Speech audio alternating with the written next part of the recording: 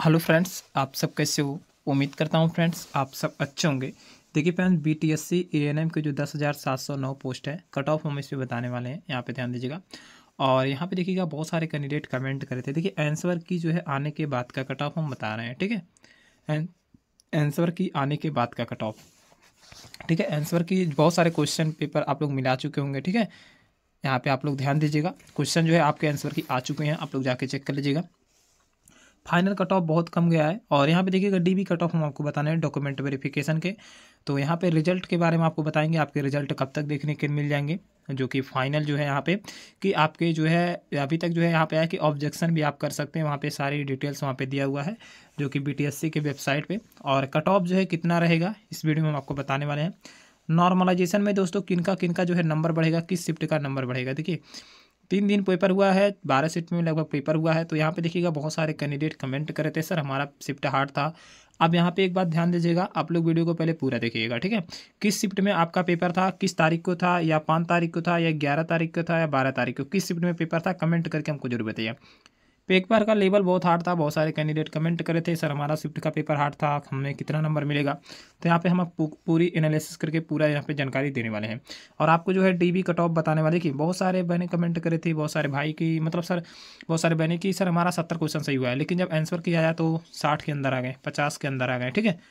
तो यहाँ पे हम आपको पूरी जानकारी देंगे, कितना आपके क्वेश्चन सही है, कितना गलत है निगेटिव मार्किंग भी था नॉर्मलाइजेशन में कितना आपको फ़ायदा मिलेगा प्रीवियस ईयर्स कट ऑफ़ क्या था, जो आठ हज़ार आठ सौ जो है तिरपन पोस्ट में जो पहली बार पोस्ट आया था, ठीक है, उसमें क्या कट ऑफ़ था तो हम यहाँ पे पूरी जानकारी देने वाले हैं। तो जितने भी कैंडिडेट चैनल पर न्यू हैं प्लीज़ आप लोग चैनल सब्सक्राइब करिएगा, आल पे करके आप सभी कैंडिडेट सेलेक्ट करिएगा।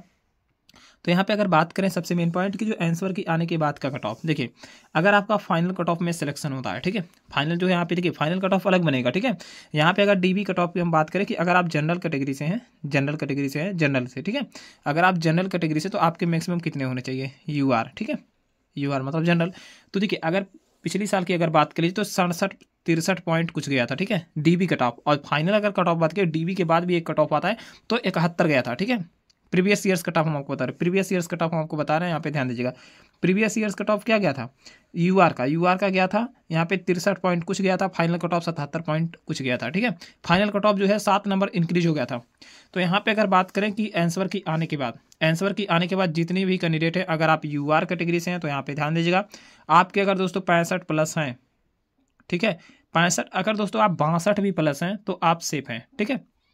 सेफ़ हैं। डीबी के लिए हम बता रहे हैं डॉक्यूमेंट वेरिफिकेशन का, ये नहीं कि फाइनल जो है रिज़ल्ट जो कि फाइनल जो है रिज़ल्ट इसमें तीन चार नंबर आप ऐड करके चलिएगा, ठीक है कट ऑफ़ फाइव जाएगा। अब यहाँ पे बात करें ई डब्ल्यू एस कैंडिडेट के। ई डब्ल्यू एस कैंडिडेट जितने भी कैंडिडेट देखिए, उस बार जो है ई डब्ल्यू एस कैंडिडेट ज़्यादा सर्टिफिकेट नहीं बनवा पाए थे तो बत्तीस ही कट ऑफ़ गया था, ठीक है? बत्तीस कट ऑफ़ गया था। और फाइनल में भी अड़तीस गया था मतलब चार पाँच नंबर इंक्रीज हुआ था फाइनल कट ऑफ़ में। डी बी कट ऑफ़ बत्तीस था और जो है फाइनल कट ऑफ़ जो गया था, अड़तीस पॉइंट कुछ गया था। तो इस बार क्या रहेगा, ठीक है? इस बार जो है हाई जाएगा, इसलिए क्योंकि देखिए ई डब्ल्यू एस सर्टिफिकेट सभी कैंडिडेट बनवा चुके हैं। तो यहाँ पे लगभग की बात करें तो पचपन प्लस ही जाएगा। ठीक है? तिरपन से प्लस ही होना चाहिए, इस बात को ध्यान अगर आपको फाइनल जो है डीबी में डीबी को फाइनल करना है कि मतलब डॉक्यूमेंट वेरिफिकेशन का एक कट ऑफ़ है, अगर आपको फाइनल लिस्ट में आना है तो कम से कम फ्रेंड साठ के तो आसपास होना चाहिए, आसपास साठ के तो आसपास होना चाहिए, ठीक है? तो यहाँ पे बात करें एम के। एम बी सी के। देखिए, हम रिज़ल्ट के बारे में आपको पूरी जानकारी देंगे। देखिए प्रीवियस ईयर्स भी हम आपको कट ऑफ़ बताते हुए चलिए। तो एम बी सी के जो प्रीवियस ईयर्स कट ऑफ़ था, बत्तीस गया था। और फाइनल कट ऑफ़ जो है चौवालीस गया था। बत्तीस गया था डी बी कट ऑफ़ उसके बाद फाइनल जो कट ऑफ़ गया था, चौवालीस प्लस गया था। तो देखिए डीबी में लिए बहुत ज़्यादा कैंडिडेट सेलेक्ट किए जाते हैं, ठीक है? जब डॉक्यूमेंट वेरिफिकेशन होता है, बहुत सारे कैंडिडेट छट जाते हैं, बहुत सारे कैंडिडेट किसी रीजन की वजह से निकाल दिए जाते हैं। कहीं पे डॉक्यूमेंट में गलती हो गया, किसी और जैसे रीजन की वजह से तो उनको निकाल दिया जाता है, ठीक है? लेकिन जो यहाँ पे फाइनल कट ऑफ़ बहुत ही हाई जाता है, ठीक है? चार से पाँच नंबर, सात नंबर ऊपर ही जाते हैं। तो एम का अगर इस बार अगर देखा जाए कट ऑफ़ कितना जाएगा तो लगभग ई e के आसपास ही जाएगा, ठीक है? एम की अगर बात करें जाए तो सॉरी एम का जो है फिफ्टी प्लस जाएगा।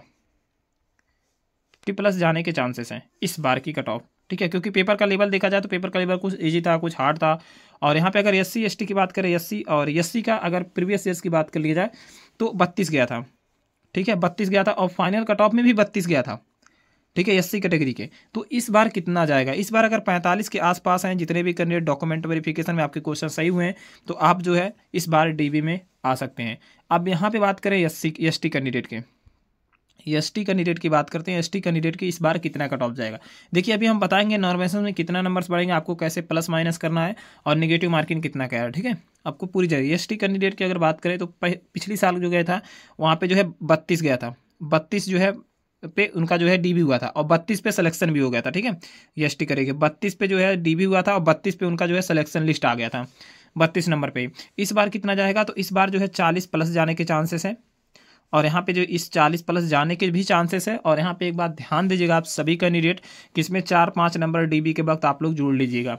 डॉक्यूमेंट वेरिफिकेशन होने के बाद भी कट ऑफ़ उसके बाद फिर रिलीज़ होता है कि कितनों को, किनका सीट मिला गया है, ठीक है? तो यहाँ पे तीन चार नंबर आप प्लस करके चलिएगा, क्योंकि ये डीबी कट ऑफ़ हम बता रहे हैं फाइनल नहीं। तो यहाँ पे देखिएगा, किनके जो है शिफ्ट के नंबर देखिए पी के अगर वी कैंडिडेट हो गए तो यहाँ पे हो गए तो इनका जो है मैक्सिमम की अगर बात कर लीजिए तो इतना तो नहीं तो फ्रेंड्स लगभग अगर बात करिए तो पैंतीस प्लस इनका होना चाहिए, ठीक है?